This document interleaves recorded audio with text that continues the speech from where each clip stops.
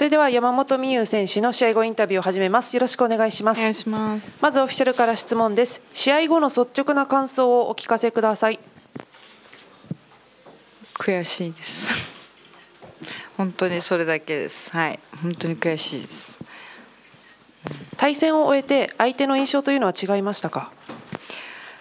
えっ、とそうですね。やっぱり寝技がああいうふうにあの手取られたとか練習とかしてたんですけどやっぱりちゃんとあのやってきたことが出せなかったということはやっぱり本当にもうレベルが1枚いあの